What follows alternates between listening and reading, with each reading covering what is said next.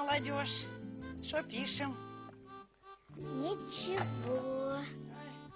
Слышь, Женек, надеюсь, не послание потомкам, а то дядя Митя, знаешь, с этими посланиями вообще помешался. Что это? Рисунок аниме. Что? Японский рисунок аниме. Я ж так сразу и подумала, что японский. Ты знаешь, у меня вообще на Японию чутье. Меня же с Японией многое связывает. Да, ты знаешь, вот когда тебя еще не было, у меня был японский магнитофон. Да, у меня брат на Курилах служил. У меня кимоно настоящее есть. Да, а сегодня я вам с бабушкой вообще хочу устроить сюрприз. Я хочу приготовить национальное японское блюдо – суши. Ура! Мои любимые суши! Так сиди там, см- смотри свой телевизор. Я знаю, что приготовить. Что-то я не поняла. Не поняла. Знаю, что такое любимые бабушкины вареники с капустой, знаю, что такое любимые бабушкины котлетки, а любимые бабушкины суши что-то я не, не припомню. Во-первых, Валентина, здравствуйте. Здравствуйте, здравствуйте. Да, а во-вторых, я тебя, твою внучечку, твоего, так сказать, благоверного решила сегодня порадовать, приготовить вам суши-ролл Филадельфия. Женя, переведи. А, Тетя Лариса собирается готовить роллы. Роллы. Валя, рулеты, крученики. Тьфу ты. Так бы же сказала. Ну? а что ты мне своим харакири это пугаешь? Крученики так крученики. Только я не помню, чтобы крученики это было японское блюдо. Вот что, что надо для твоих кручеников? Вот смотри, что-что, ты прям это, вот же ж, вот стакан риса, только большой, или два маленьких можно. Значит, 300 грамм семушки, а полстакана рисового уксуса, два авокадо, сыр Филадельфия, ну, вот эти приправки, лаврушечка, перчик. И вот это вот два вида водорослей. Только я их все время путаю, Женек. Там я, как же они называются? Я там, ладно, вычитала в интернете, а вот, знаешь, не могу идентифицировать. Что это? Нори. Комбо. Ну, что тут это, даже дети знают, Валя. Смотришь, как баран на новые ворота, и бога. Из вот этого будет крученики, да? И Что? Из вот этого будут крученики. Ну, и да, и не крученики, а роллы. Так вот слушай, из чего делаются крученики, и мотай на свой японский ус. Ой, Вот. ой. Мне что надо, что мне надо для кручеников? Ну и что Вот тебе так надо? вот щучка килограммов на полтора. Ого. Вот она у меня же же заготовлена. Иван поймал, да? Да. Ай. Иван поймает. Вот. Вот это все я тут тоже заготовила. Ля. Масло сливочного Ну-ка, ну-ка, пачечка. ну-ка. Вот белый хлебушек, му- мучка, три яичечка, корень петрушечки, два корешка морковочки. Поняла? И дв- две луковицы. Все. Ну и Всё, приправка. Да? И маслица оливковое чуть-чуть. Это я И вот сейчас вот это ты посмотришь, что такое крученики. Да Понимаешь? я просто... И Валя, ты тогда поймешь, что такие крученики. Я ж тебе просто с- и сравнила роли с крученниками, чтобы тебе как-то понятнее, доходчивее объяснить. Мне это все понятно. А сейчас попробуешь моих кручеников, и тебе сразу тоже станет все понятно. Что мне станет понятно? Та то! Что? Шо-шо? Почем Киото рубероид? Вот что. Валя, выбирай выражение, что ж ты из раза в раз, главное. Ну ты посмотри Главное. на нее. а. Женщины. Что, Женечка, у нас все нормально. Ты рисуй вот это, занимайся своей анимой там.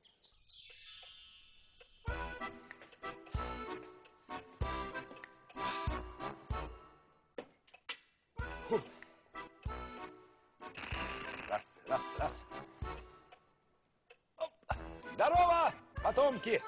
Вас приветствует кандидат спиннинговых наук, председатель Рыбацкого союза на крючке и лауреат межобластного конкурса «Золотой опарыш-97» Дмитрий Александрович Буханкин. Как вы догадались, сегодня речь пойдет о подводных жителях или о людях, рожденных в марте, то бишь о рыбах. И хоть сегодня не четверг, у нас будет рыбный день. На эту мысль меня натолкнули 500 рублей. Именно такую сумму я оставил за маленький-маленький кусочек красной соленой рыбы в нашем магазине. Подумал, етический карась. А потом, нет, решил не карась, а скумбрия и семушка. Во! Именно эту рыбу мы будем сегодня солить с вами. Получится и дешевле, и гораздо вкуснее, чем магазине. К слову, самая вкусная рыба – это та, которую вы поймали своими руками. Поэтому, кроме кулинарных советов, перенимайте мой богатый рыбацкий опыт. Запомните первый и главный совет. На рыбалке нужно вести себя как правильно, тихо. Особенно если озеро платное и на ней есть сторож. Короче, тишина и спокойствие – это один из главных атрибутов удачной рыбалки. Поэтому на рыбалку женщин не берут. Очень важно идти на рыбалку подготовленным. Не готовым, а подготовленным. Поэтому нужно взять с собой соль, сахар, лаврушечку, душистый перец, черный перец, э, сухую горчичку и гвоздичку. Вот для тех, кто не понял, все это нужно для рассола. Не вздумайте на это ловить. Так, ставим водичку. Готовка, она как рыбалка, требует времени. А чтобы скоротать его, нам поможет рыбацкая история. Вот одна из них. Как-то поехал я на озеро, ну, нашел место, разложился, достаю баночку с червями. Знаете, такая жестяная из-под кофе. Открываю, там кофе. Етить, колотить, думаю, перепутал. Ну, ладно, я-то без наживки. Но там теща приехала в гости. Она большой любитель утром кофеечек попить. В общем, она не поверила, что я случайно перепутал. Обиделась и уехала. Да ладно, шучу. Не уехала. Ну, а какая ж рыбацкая байка, без доли брехни. Вот чтоб, дорогие потомки, таких конфузов не было, еще раз, еще раз проверьте все ингредиенты. Встретимся через пару минут. Ну все, как говорит мой Иван, после штрафа за браконьерство с рыбой покончено. Ага. Так, а рис я уже промыла, высушила, осталось только его сварить. Ой, ой, тоже мне велика наука сварить рис. Ой, кинул вот это, кинул кастрюлю, залил водой и, и включай плиту. Ой, Что ты, бабушка? У японцев это целый ритуал. Что, ритуал? Ой, что ж там, а у нас что, не ритуал? Ля, берешь у кастрюлю голову, хвост, заливаешь водой, вот так вот, залили водой и с Богом к плите. Что, не ритуал? Ой, вечно ты, Валентина, все перекручиваешь. А вот японцы нет. Они рис сначала промывают, потом высушивают минут 30-60, а потом вот так вот высыпают в кастрюлю с толстым дном. Заливают все ж это кипяченой водой. Ты ж учись, пока тетя Лариса тебе делится секретами. Потом берут вот эту водоросль, как она, Женек, все время забываю ее. Комбу. Компу, ну конечно, компу. Протирают вот так вот влажной тряпочкой и кладут в эту же кастрюлю. Вот так вот мы ее... не- А можно ее сломать, Женек, нет? Ага. Вот так вот мы ее положим сейчас вот. Вот. Вот так вот положим. Ставим на огонь. Разрешите рядышком с вами пристроиться. Пожалуйста, пожалуйста. Доводят эту красоту до кипения. Как только закипит, мы эту комбу вытаскиваем и продолжаем варить наш рис. А она, главное, ставь кастрюлю и вары. Ой, И все. да рис как не варен, все равно же рис получится. Нет, бабушка Валь, ты не права. Рис для суши не просто рис. Внуча, не просто рис, это плов. Там и мяско, там и зажарочка, там и специи всякие. А это что? Это ж просто рис. Валюш, тебя не переспоришь. Пойдем, Женек, займемся нашей рыбкой для суши. Там мне что же надо щучку порезать? Ой. А ну-ка, самурай, покажи, как ты там своим мечом орудуешь. Валя, обычно японские самураи делают это действительно длинным, острым мечом. Ну а мы, простые, беззащитные русские интеллигентные женщины, делаем это чем под руку попадется. Вот так вот на тоненькие полосочки нарезаем. Мгм, Вот так вот, видишь, Женек, как? Слышишь, ты Йоко Оно. Шо? Ну, Валь, ну что ж ты опять при ребенке? Да это не ругня, Ну а что это? это имя отчество. А, А вот этот кусочек щучечки мне надо порезать для фарша. Ля, Лариска, а. а я тоже ножом работаю, ля. Эц. Бабушка, ты прям как самурай. Да я и есть самурай. Да не говори, Женек. Твоя бабушка как будто 37 ступеней Шаолиня прошла. Ой, с деда Иваном и не то пройдешь. Так, ну ладно. Значит, вот так вот это нас сюда, вот эту щучку.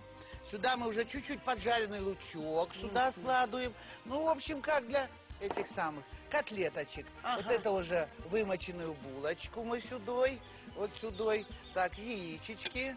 Вот так раз, вот так раз. И все это перемешиваем. И у нас рыбка уже готова. Ага. Так что, Женек, ты пойди посмотри, там рис закипел. У тебя, может, рыбка и готовая, а мою щучку нужно еще отбить, чтобы она была нежненькая. Тетя Вот. Лариса закипел. Доставать комбу. Доставай, Женек, доставай. А потом огонек прикрути, и пусть рис еще минут 20 потомится. Вот. Ну, пока рыс будет томиться, а тетя Лариса щучку отбивать, Женек, иди сюда. Мы сейчас будем ролить роллы. Что делать? Так крученики крутить. Это я так нарочно сказала, чтобы тете Ларисе понятнее было. Крутить крученики. Без труда не вытянешь рыбку из пруда, а без медька не засолишь окунька. Причем здесь окунек, а при том, что Митяй и скумбрия не рифмуются. И вообще поменьше задавайте мне вопросов. Лучше как рыбак смотрите на поплавок молча и внимательно. Где рыба чувствует себя комфортно, а? Правильно, в рассоле. Поэтому сейчас мы приготовим рассол для скумбрии. Для этого нам понадобится 6 ложек соли. Раз, два, три, четыре и шесть. Три ложки сахара. Одна чайная ложечка сухой горчички. Вот берем. Так. Отлично. Шесть листочков лаврушечки. Можно семь, можно пять. Душистый горошек. И гвоздички. Вот. Вот так потрем. Ах, какой запах, какой запах.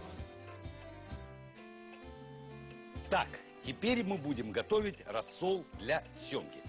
Для этого в кипяточек мы бросаем 4 ложечки соли, 2, 3, 4. Дальше нам понадобится парочку гвоздик, не больше, парочку горошин черного перца.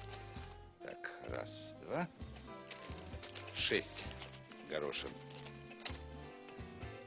душистого перчика и две лаврушечки. Раз, два. Так, все. Вы спросите, зачем мы солим и семгу, и скумбрию? Отвечаю. Как говорил один мой знакомый, бросая динамит в озеро, много рыбы не бывает. Ну, с динамитом он, конечно, погорячился, но во всем остальном он совершенно прав. Так, перед посолом рыбку надо очистить. Сейчас мы займемся оп, оп, оп, оп, скумбрией. Берем досточку, берем ножичек, кладем скумбрию и начинаем резать вот отсюда. Так. Дорогие потомки, я вам сейчас расскажу, что рыбалка бывает двух видов. Летняя и зимняя. Отличие одной от другой – это какое? Правильно, что выпивка при зимней рыбалке, она оправдана. Но есть некоторые рыбаки, что считают, что при любой рыбалке выпивка обязательно. Вот, что рыба якобы чувствует людской дух, как зверь. И чтобы его перебить, они напиваются, как свиньи. И что вы думаете, что у них за улов? Они таких лещей ловят от своих жен, когда возвращаются домой. А лично я считаю, что рыбалки время, а беленькой час. Так, отлично, убирай внутренности. Все. Так, переходим к семге.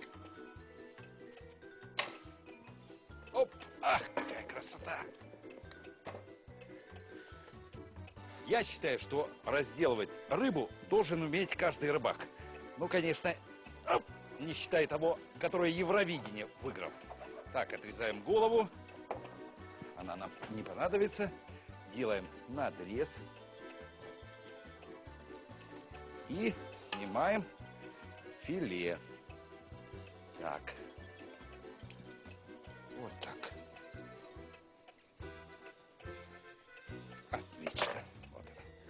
Роскошная филейная часть. А, какая красота.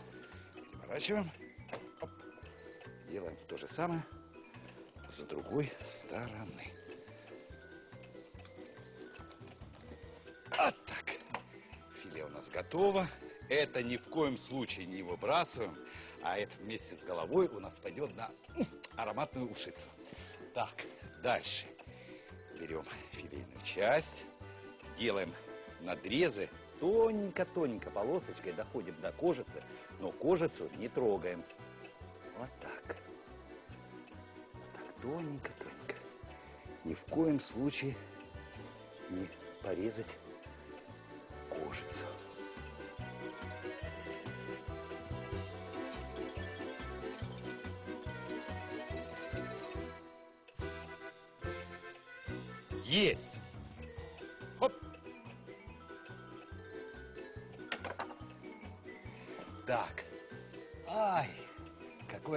Рассол прокипятился, теперь он должен остудиться.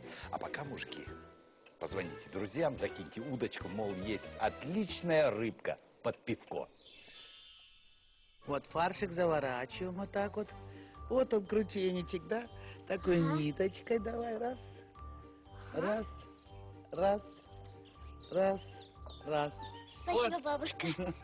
Слышь, Женек, ну что, потренировалась на крученниках? Айда серьезным делом заниматься. Ой, ой, ой, серьезным делом. Ля на нее тоже Организация Объединенных Наций. Серьезным делом. А я, Валюш, на твоем бы месте, вот когда твое уже поставила, посмотрела бы, обратила внимание, потому что Иван вдруг есть попросит, а у тебя в доме ничего кроме селедки и риса не У будет. меня такого никогда не было, чтобы у меня ничего не было, поняла?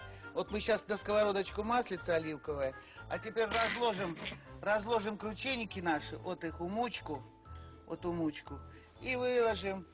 Вот, а ты пока рассказывай, рассказывай, рассказывай. Ага. Значит так, Женек, смотри, мы берем наш рис, который мы добавили немного рисового уксуса, и вот сюда смещаем вот так вот на... Кладем на наш, выкладываем коврик. И выкладываем вот сюда больше на... Коврик, ты если уронила рыбу у меня на ковер, так и скажи. А с ковра не советую. Боже ж ты мой, Валя, какая ж ты темная, учу тебя, учу. Это ж макису. Специальный коврик для заворачивания супа. Ребенок. Валя, вот же ж он, гляди. Ой, иди сюда лучше погляди, Женек, не слушай Да ты не, бабушку. мне тут надо... Смотри за переворачивать. моим процессом. Вот смотри, рис вот так вот мы плотненько выкладываем сюда. Теперь, когда мы выложили это все, мы берем нашу водоросль. Как она называется? Женек, все время забываю. Ной. Нори, вот нори. И вот так вот, вот блестящей стороной мы ее выкладываем сверху на рис. Вот так вот уложили. И теперь сверху этой нори мы выкладываем вот так вот авокадо. Вот так вот, видишь, дружка за дружкой. И вот так вот еще рядышком кладем сырочек наш. Вот же как красиво получилось. Валюша, ну иди ж посмотри. Теперь мы сворачиваем вот это все. Так, Женек, глянь ты, смотри, как же. Сейчас. Вот так правильно я делаю? А как же? Вот же иди сюда. Давай мы ее так вот так. Вот. Вот, тетя Лариса. Я ж сама это первый раз в жизни делаю, если честно. Женек, это штука кажется, что я умная. А на самом деле я еще умнее. Ой, ну, давай последний такой-то. Так. Хоп. Есть. Ой, да что там есть, Женек? Я тебе сейчас стихом скажу. Ролл вроде есть, а нечего съесть. Кушать суши все равно, что радио слушать. Вот тут красота какая. Я. Валюша, зря ты так говоришь. Роллы – это очень сытное блюдо. Вот это еда так еда. Можно одной суши всю Японию накормить. Сейчас я вот так вот бульончиком немножко в бульончике их немножечко протушу.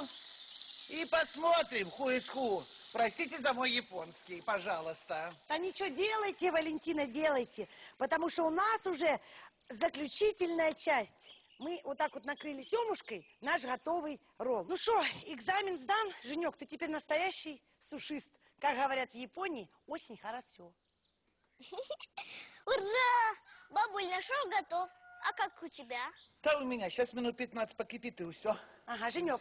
Ну а пока готовятся роллы Валентины Сан, тетя Лариса порежет крученики Филадельфия. А ты накрывай на стол. Будет сделано салфей. Ой, молодец, очень хорошо.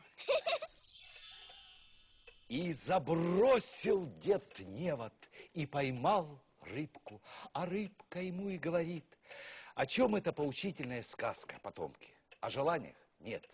Это сказка о плохой экологии, от которой даже рыбы стали говорить. Вы там будущем, потомки, берегите природу, так сказать, мать вашу, чтобы у вас и рыбка на столе была, и мой рецептик пригодился. Итак, скумбрия. Скумбрию можно солить в бочонке, можно в эмалированной посуде. Главное, чтобы она была нержавеющая, а то вместо скумбрии у вас получится хек на постном масле. Кладем все вниз и заливаем всю эту красоту рассолом, который у нас уже охладился. И ставим ведерочко, прохладное место на 3-4 дня. Итак, теперь семочка. А, смотрите, кладем один кусочек кожицей на дно. Вот сюда. А вторую часть кладем наоборот кожицей сверху. Вот. И опять же заливаем все это рассольчиком и храним в прохладном месте не менее суток. Поверьте, на такую рыбку клюнет самая искушенная рыбачка. Я, например, добил своего лорика именно скумбрии, ну а потом семушкой. И не думайте, что чем дольше рыба хранится, тем она солоней становится. Рыба ж, она не рыбнадзор, она не жадная, соли много в себя не впитывает. Эх, лови скумбрия большая и маленькая. Будет чем митяю солить. Значит так. Два кило свежей скумбрии я очистил и промыл. Потом в кастрюле закипятил 1 литр воды, добавил туда 5 столовых ложек соли, 6 лавровых листов, 3 столовые ложки сахара, 1 чайную ложку сухой горчицы, немного сыпаного перца горошком и гвоздики. Этот рассольчик покипел немного, после чего я его охладил. И уже охлажденным рассолом залил рыбку. Вот и все. Так, теперь о рассоле для семги. Вскипятили водичку, добавили соль, кто как любит, гвоздику, черный перец, душистый, лавровый лист. Покипела вся эта пахучка немного, остудили ее до комнатной температуры и пусть себе дожидается. Теперь о рыбке. Семгочку я аккуратненько филировал. Потом филе нарезал на тонкие кусочки, не разрезая при этом кожу. Подходящую по размеру емкость уложил рыбу. Сначала кожей на дно, а вторую часть кожей наверх. После этого залил рыбу рассолом и поставил в холодильник. А, забыл, очень важная вещь. Сверху мы покрываем вот такой мешковиной. Все, накрываем, чтобы оно пропиталось в рассоле. Так, скумбрию, а теперь семочку. Ну, а за сим я сматываю удочки и желаю вам хорошего клева. И вообще, чтобы в жизни у вас было все клево. Пока. Ваш Дмитрий Буханкин. Ой, какая ж красота, ля. Как говорила моя бабка, крученики и щуки не понравятся только толстолобикам. Ой, Шука сама меня полностью уверена в моих сушах. Или сушах, как, Женек? Роллах. В роллах, точно. Как говорят японские техники, тестируем. Шо? Ну, пробуй уже, господи, шо же. А, понятно. Ну что, Женек, как? Шо? Чё? Вкусно. Перепона, мать. Мякоть щуки бабушка Валя разрезала на тонкие пласты и слегка отбила. Другие кусочки филе мелко порубила, добавила размоченную в рыбном бульоне булку, слегка поджаренный лук, сырые яйца, часть масла, перец, соль и все хорошо перемешала. Положила эту начинку на подготовленные кусочки рыбы, свернула их трубочкой, обвязала ниткой, обваляла в муке и пожарила на сливочном масле. Из голов и костей рыбы, корня петрушки, морковки и лаврового листа Бабушка сварила бульон и заправила его поджаренной мукой. Потом она сложила крученики в сотейник, залила рыбным бульоном и протушила. И вот, по щучьему велению, по моему хотению, всем приятного аппетита! Тетя Лариса сварила рис, остудила его и заправила рисовым уксусом. Потом она нарезала семгу ломтиками одной толщины. Дальше, как настоящая японка, она положила на коврик макису, обернутую в пищевую пленку, рис, сверху половину листа нори. Положила на нори кусочки авокадо, сливочный сыр и свернула ролл. Потом тетя Лариса просто нарезала ролл, а на каждую его часть положила по ломтику тонко нарезанной семги. Вот и все. Так просто и так вкусно. Ну что, А и что никуда мочать не надо. Валя, Там уже все в бульончике. Можно добавки?